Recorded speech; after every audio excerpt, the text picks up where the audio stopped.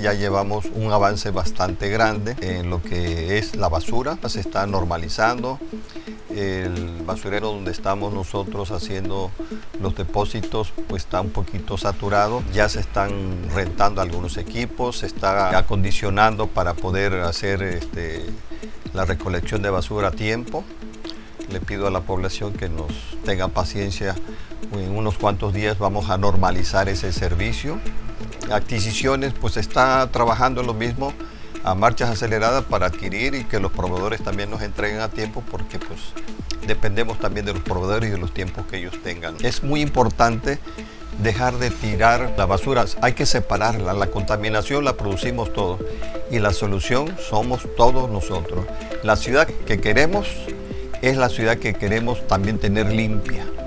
Por lo tanto, les vamos a pedir a los ciudadanos que separen su basura, poner los plásticos transparentes, en otros los plásticos eh, de color o en, amarraditos, en otro cartón, en otro lo que sean metales y en otro lo que sea vidrio y en otra parte lo que sea el orgánico, pero sin líquidos. Eso es lo que contamina tanto el manto freático como lagunas, ríos, arroyos y el mar.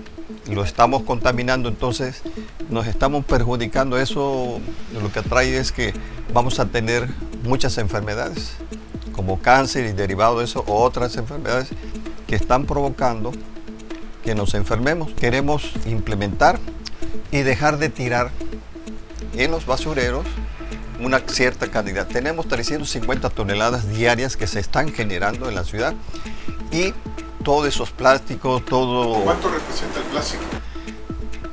Representa como unas 12 17 toneladas aproximadamente, diarios. Hay basura de otro tipo.